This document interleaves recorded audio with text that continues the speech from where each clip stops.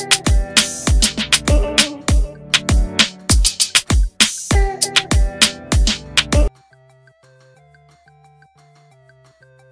ะทิงเคลียร์ตัวเองหลังมีชื่อเอี่ยว Forex 3D รับเครียดหนักสุดในชีวิตที่เคยเจอ กระทิงขุนนรงเคลียร์ตัวเองหลังมีชื่อเอี่ยว Forex 3D รับเครียดหนักสุดในชีวิตที่เคยเจอ ลั่นไม่ใช่ผู้ต้องหาตั้งแต่แรกแล้ว วันที่ 27 มีนาคม 2566 ที่ควอเทียร์อเวนิวดิ เอ็มควอเทียร์พระเอกชื่อดังกระทิงขุนณรงค์ ประเทศรัตน์ ให้สัมภาษณ์หลังมาร่วมงาน โครงการรณรงค์ฉลากคาร์บอน ถึงความคืบหน้าหลังเข้าให้การในฐานะพยานในคดี Forex 3D กับพนักงานสอบสวนคดีพิเศษเมื่อช่วงปลายปีที่ผ่านมาตอนนี้เรื่องเป็นอย่างไรบ้าง ตอนนี้ก็สบายใจและเคลียร์ทุกอย่างทำทุกอย่างเรียบร้อยหมดแล้ว ผมไม่ได้เป็นผู้ต้องหาตั้งแต่แรกอยู่แล้ว แต่ว่าคือแค่มีข่าวออกมาเราก็ออกมาอธิบายในส่วนของเรา แต่ว่าช่วงนั้นเรื่องนี้ดังขึ้นมา แต่ปกติผมเป็นคนไม่ค่อยอยากดังอะไรแบบนี้ อยากให้คนพูดถึงผลงานของเรามากกว่า ผ่านเรื่องราวหนักๆมาได้อย่างไร ผ่านมาได้ก็เพราะว่าครอบครัวและเพื่อนๆรอบข้างเข้าใจ เรารวมถึงที่ทำงานก็เข้าใจ เราเราก็อธิบายสิ่งที่เกิดขึ้นให้เขาฟัง แต่ตอนแรกถามว่าเครียดไหมก็เครียดครับ ต้องจัดการปัญหาถือว่าหนักที่สุดที่ผมเคยเจอมาแล้วกัน ในช่วงที่ต้องเคลียร์ตัวเอง แต่เราไม่ได้ออกมาพูดอะไรมีความกดดันเยอะไหม เอาจริง ๆ กดดัน เพราะว่าผมก็ไม่เคยศึกษาเรื่อง พวกนี้ก็ไม่รู้มาก่อนว่ามันจะเป็นเรื่องใหญ่ขนาดนี้ แล้วด้วยความเด็กๆ ก็คิดว่าไม่เป็นอะไรเงิน เราเสียไปก็ช่างมัน เสียค่าโง่ผมก็ไม่ได้คิดอะไรมาก แต่ผมก็ไม่รู้ว่ามันจะกระทบคนอื่นเยอะ ตอนนั้นมีความกังวลว่าคนอื่นจะเข้าใจเราผิด มองภาพเราเปลี่ยนไปไหม กลัวครับ แรกๆก็มีความรู้สึกว่าเอ๋ยเราจะออกไปข้างนอกดีไหม กลัวคนมอง เพราะผมไม่เคยคิดว่าตัวเองจะมีข่าวอะไรแบบนี้ เวลาผมใช้ชีวิตข้างนอกก็ใช้ชีวิตปกติ เราก็เลยไม่ได้ เตรียมรับมือกับเรื่องพวกนี้ไว้ พอออกมาข้างนอกแรกๆ ผมยังสัมภาษณ์พูดไม่รู้เรื่องเลย กลัวโน่นกลัวนี่ แต่พอทำไปทำมาก็คิดว่ามันเป็นชีวิตเรา เราต้องเจอและตั้งใจสู้กับมันหน่อย อยากบอกอะไรแฟนๆ ปลอดภัยดีครับผม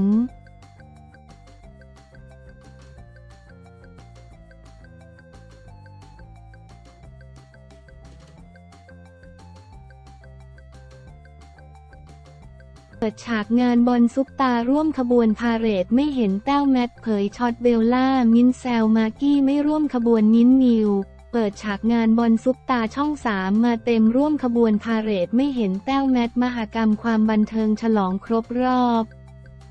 53 ปี ช่อง 3 Beloved Festival 53 ปีดีต่อใจถ่ายทอดสดจากสนามฟุตบอลศูนย์กีฬาธรรมศาสตร์รังสิต เปิดฉากมาด้วยเหล่าพระเอกออกมาร้องและเต้นเรียกน้ำย่อยในเพลงซูลูปาก้าตาปาเอนำโดยณเดชน์มาริโอ เจมมา หมาก หลุย นายนภัสและตามมาด้วยอีกหลายเพลงรัวๆร่วมขบวนด้วยบอย เกรทพล เจมจิ อาเล็ก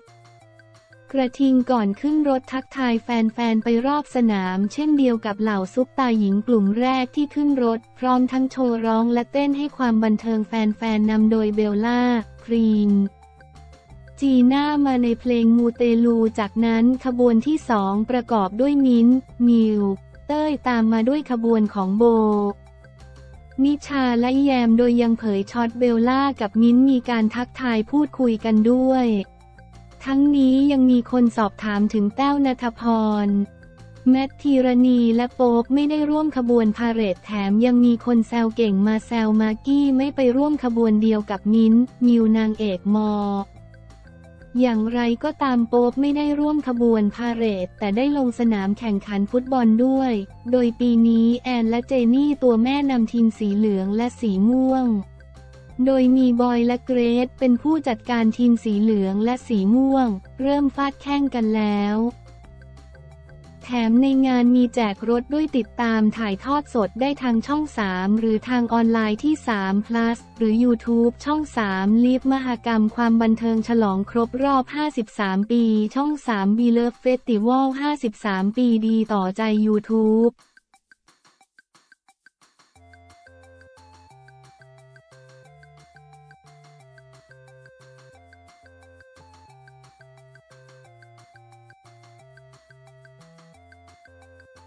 เละเต็มโซเชียล นุ่นสุทธิพาโดนถล่มอีก แล้วทำดีเมตตาต่อสัตว์โดนแซะแรงเวอร์เละสนั่นโซเชียลอีก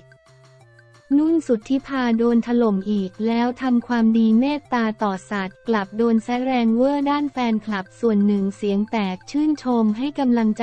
รัวๆ เรียกว่าขยับตัวไปไหนก็ถูกจับตามองตลอดสำหรับนักแสดง YouTube สาว นุ่นสุทธิพา ซึ่งก่อนหน้านี้สาวนุ่นถูกโยงมั่วเป็นมือที่สามของอดีตคู่รักสายอารมณ์ นิกกี้นชัดและก้อยอรัชพร แม้ นิกกี้กับก้อยจะออกมาชี้แจงแล้วว่า สาเหตุที่เลิกรากันไม่ได้มาจากมือที่สามแต่เป็นเพราะตัดสินใจอยู่ด้วยกันและเกิดปัญหาไปต่อไม่ได้ก็ตาม แต่สาวนุ่นและนิกกี้ยังคงโดนขุดคลิปเก่าที่ทำพฤติกรรมไม่ให้เกียรติ ก้อย ที่ตอนนั้นเป็นแฟนสาวของนิกกี้ พร้อมกระแสดราม่าถล่มเดือดซึ่ง นุ่นก็ไม่เคยออกมาตอบโต้ดราม่าถล่มยับแต่อย่างใด ล่าสุด วันที่ 26 มีนาคม 66 นุ่นสุทธิพาโพสต์คลิปทำความดีเมตตาต่อสัตว์ ด้วยการใส่ชุดขาวและแจกน้องหมาจรจัดที่อาศัยอยู่ในวัดแห่งหนึ่ง พร้อมแคปชั่นว่า แจกอาหารหมาสัตว์เลี้ยงน่ารักนุ่นสุทธิพานุ่นสุทธิพาแต่งานนี้กลับโดนดราม่าถล่มยับอีกแล้ว เมื่อมีชาวเน็ตแซะแรงเวอร์สาวนุ่นเป็นจำนวนมาก ทั้งคอมเมนต์ว่า อันไหนนุ่น จุลภาค ดีแล้วค่ะ เพื่อนกันต้องรู้จักแบ่งปันกันน่ารักมากเลย หน้าคล้ายยันเลย ใจดีจังแบ่งเพื่อนกินด้วย แยกไม่ออกเลย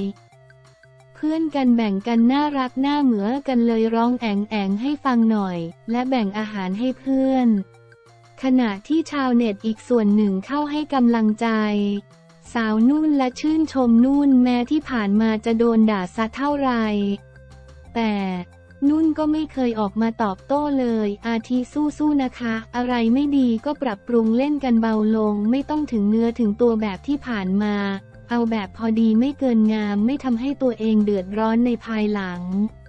เริ่มใหม่นะคะ สู้ๆนะคะ ที่นุ่นเป็นกำลังใจให้ ชอบที่เขานะเข้มแข็งดีและชอบคนแบบนี้จะมีคนด่าว่าแต่ก็ไม่ตอบโต้ ขอบคุณติ๊กต็อก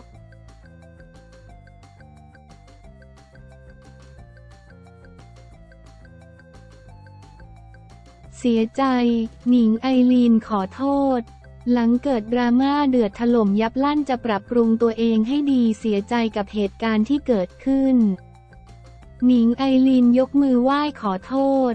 หลังเกิดดราม่าเดือดถล่มยับไม่ให้เกียรติ ชาร์ลอตออสติน ลั่นจะปรับปรุงตัวเองให้ดีขึ้นกลายเป็นดราม่าเดือดก่อนหน้านี้ เมื่อโลกทวิตเตอร์แห่ติดแฮชแท็ก เครื่องหมายสี่เหลี่ยมแบนหนิงไอรีน ขึ้นเทรนด์อย่างรวดเร็ว หลังชาวเน็ตและแฟนคลับของนางงามสาว ชาร์ลอตออสติน แห่งเวทีมิสแกรนด์ไทยแลนด์ และเป็นคู่จิ้นของอิงฟ้าวราหะไม่พอใจอย่างแรงหลังนักร้องสาว หนิงไอรีน เจ้าของเพลง เขาคือมีไหมวัยแท้ ได้ออกมาให้สัมภาษณ์ถึงการทำงานร่วมกับ ชาลอตออสติน ที่มาเล่นเป็นนางเอก MV ให้กับ หนิงไอรีน และหนิงไอรีน ก็ร่วมเล่น MV ของตัวเองด้วยโดยหนึ่งในฉากที่เล่นนั้นเป็นฉากจูบ ชาลอตซึ่งหนิงได้เล่าเบื้องหลังของฉากดังกล่าวว่า ฉากจูบกับชาลอตไม่อยากให้ตัดออกถ่ายจริงมีเต็มเต็มปากเลย และยอมรับว่าช่วยโอกาสจูบจริง จนชาวเน็ตไม่พอใจอย่างแรงมองว่าไม่ให้เกียรติ ชาลอต จนกลายเป็นดราม่าเดือดล่าสุด วันที่ 25 มีนาคม 65 หนิงไอรีนได้มาอัดคลิปขอโทษ ชาลอตออสติน ว่า สวัสดีค่ะหนิงไอรีนนะคะ ก่อนอื่นหนิงต้องขอโทษทุกคนขอโทษที่ภูดอกมาโดยไม่ได้ไตร่ตรองให้ดีนะคะทำให้ทุกคนที่หนิงกล่าวถึงได้รับผลกระทบ หนิงเสียใจกับเหตุการณ์ที่เกิดขึ้นค่ะ สัญญาว่าจะไม่เกิดเหตุการณ์แบบนี้อีกแล้ว และจะนำมาเป็นบทเรียนในชีวิตว่าเราจะปรับปรุงตัวเองให้ดีขึ้น ต้องขอโทษทุกคนด้วยนะคะ ขอบคุณค่ะ ขอบคุณ Facebook ซุปเปอร์ลูกทุ่ง